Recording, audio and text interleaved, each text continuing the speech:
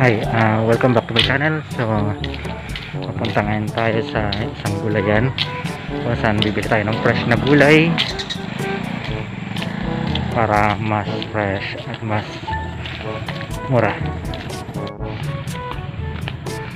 Ito na ngayon ang daan papunta doon sa fresh na gulay sa isang uh, taniman dito sa may part ng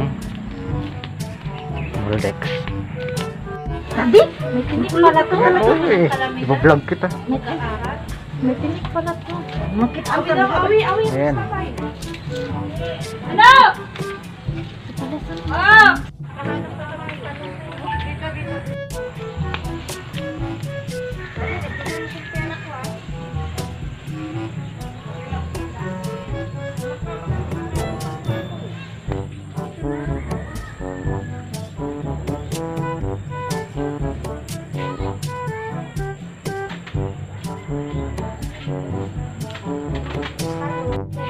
Na, tanawa na eh.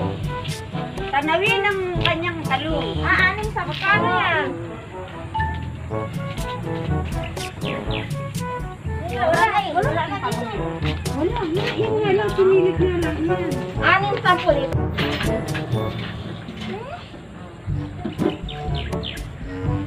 Thirty-five na lang to. Ayan. Ganyang karami ang uh, binili namin gulay. So, halos hinapot lahat.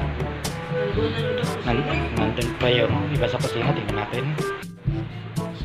Ayan.